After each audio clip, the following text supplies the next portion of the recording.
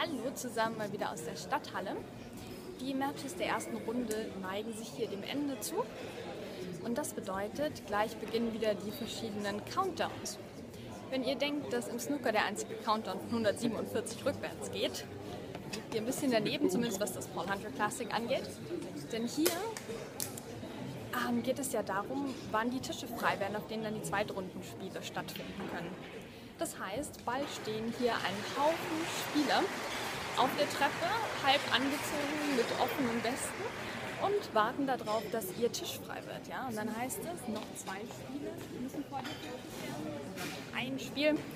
Und dann wird also eifrig gewartet und abgeschätzt, welcher Tisch denn der nächste freie sein könnte. Spekuliert wird und natürlich müssen sie sich dann auch noch ordentlich konzentrieren. Und dann kann es auch ganz, ganz plötzlich losgehen eigentlich. Also das ist eine ganz interessante, ein bisschen heikle Situation hier, aber natürlich können da alle Beteiligten mit umgehen, ist ja klar. Aber wie gesagt, hier läuft dann der Countdown. Noch vier Spiele müssen fertig werden, bevor du wieder ran darfst. Noch drei, noch zwei, noch eins und dann ist dein Tisch auf einmal frei. Also so läuft es hier auf den Stufen in der Stadthalle. Viele Grüße mal wieder und bis später. Tschüss.